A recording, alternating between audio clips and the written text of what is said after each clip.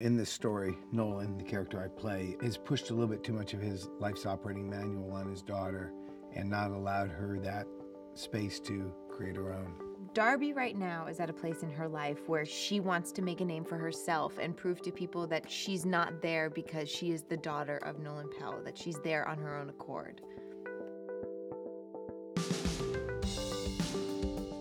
Nolan's predicament in this story that he finds himself in, trying to help his daughter, the, the trap is to really control and manipulate a circumstance. You, you want your children to be like you, and you give them your worldview, your life's operating manual. I think he means well, but she doesn't see it that way. She sees that all of her trying to break out on her own is being squashed by her father. Well, I think we should challenge each other. It's freeing to be honest. Darby wants to be seen. Nolan wants to be appreciated. So many people can relate to something like that with their parents because I think at one point or another in your life you feel a little misunderstood or something like that. The great challenge when you're confronted with that uh, is to listen and trust in both your parenting and the job that you've done. There are components of all things that make a life, and nothing that really happens is black and white.